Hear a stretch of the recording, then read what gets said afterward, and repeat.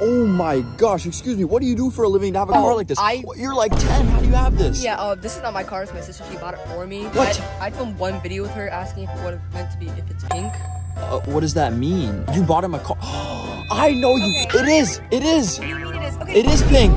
It is pink. It is oh, pink. It is pink. It is pink.